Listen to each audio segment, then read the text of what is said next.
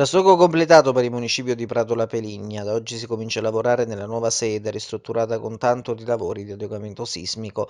Dopo il taglio del nastro che risale allo scorso 22 aprile, gli uffici comunali da oggi hanno ripreso il servizio nella sede storica del comune, dopo il trasferimento durato per circa un anno negli uffici dell'ex giudice di pace.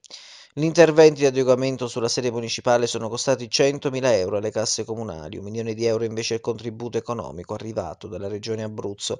I lavori sono stati eseguiti dalla ditta Autotrasporti di Sulmona dell'architetto Antonio Angelone che in tempi record è riuscito a restituire alla comunità pratolana lo storico municipio. L'innovazione energetica e il completo adeguamento sismico sono gli elementi che rendono l'edificio più sicuro, moderno e meno costoso. L'edificio sarà anche punto di riferimento per la popolazione in caso di emergenza.